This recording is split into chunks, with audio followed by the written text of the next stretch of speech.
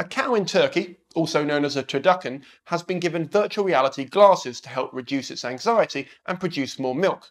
Also, it was reported that a farmer in Russia has done the same thing, but I'm not stupid enough to make fun of the Russians on this platform. The farmer said the two test cows responded well to wearing VR headsets and listening to classical music. I love how the farmer's main measurement of how much the cows were enjoying the metaverse was how much milk they were producing. Also, what about the clowns that aren't into classical music and prefer the experimental vibes of the insane clown posse? Love it. Probably what the cows are seeing while wearing the headsets. I think it's more likely they'll be playing Beat Saber like the rest of us. The cows wearing headsets produced an additional 5 litres of milk than those who could see they were living in cages and were, quote, calmer. Whoever wrote this article missed out on a big opportunity here to say that the cows were in a much better mood. Oh, fuck off! Just for ease, I'm going to refer to the non-VR cows as cows and the VR cows as the meta herd from this point on. Now, here's the issue. Some people think it's exciting to try a new method of farming which could not only improve the quality of milk, but the quality of life for the cow, as the meta herd doesn't know that they're living in a cage. They think they're in a lovely big field. Others think this is horrible animal abuse and it should be stopped before we start putting VR headsets on goats to improve goat's milk and goat's cheese. I mean, to be fair, goat's cheese couldn't taste much worse, so might as well give it a go. It's a weird one because we're both running out of land, and as much as shouty vegans are really convincing meat eaters to give up their bacon, no, really, keep shouting at us and telling us we're monsters. It really helps change hearts and minds. But still, overwhelmingly, people seem to enjoy meat and milk. However, in my opinion, most of the excited Silicon Valley arguments seem to forget the reason why cows are probably anxious in the first place.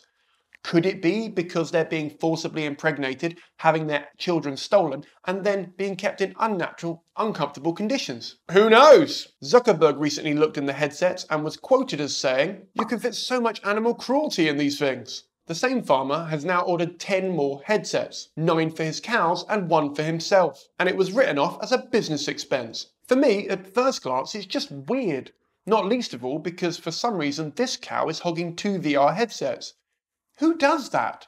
Unless you're this guy, it's not needed. It just feels like a way to increase the efficiency of exploiting cows and brings forward a whole new meaning to the phrase milking them for all they're worth. It also feels like a Matrix reboot, only this time it stars cows.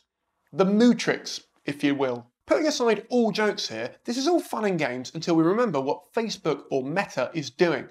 Their plan is simple Right now, a lot of people aren't spending as much time as they'd like on Facebook because it lives in their phones. So by putting them in VR or making them wear shitty glasses, it takes them out of the real world and places them firmly in a space owned and controlled by Mark Zuckerberg. If you go back over this video and replace any mention of cows with the two-legged livestock that Zuckerberg has made billions of, it becomes a lot less funny and a lot more real. If we look at this in isolation and we pretend that we're not next, this is the fourth industrial revolution, where milk is going directly into a Meta store, where beef is going to have to be labelled as virtually free range, and where Meta will lobby farm regulatory agencies to change the definition of grass-fed to include virtual grass. It's another example of animals testing products intended for humans. You'd think it would be cheaper to just give the cows the space they need to roam, but land is not an infinite resource and we are running out of it.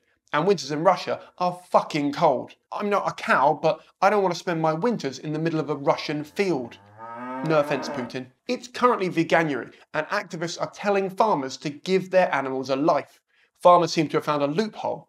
The irony here is that the cow's favourite game here is Farmville. Animals need to be relaxed. Sure, I'm on board with that. I don't know anyone who wouldn't be. But this is utterly ridiculous. And personally, I can't wait for Clarkson to try it on his next series of The Farm. What do you think? Do you like this? Do you think it's a bad idea? Do you think it's a good first attempt, but you can see a better way of doing it? Let me know in the comments below. Don't forget to like and subscribe to the channel, and Godspeed. I'll see you all in the next one.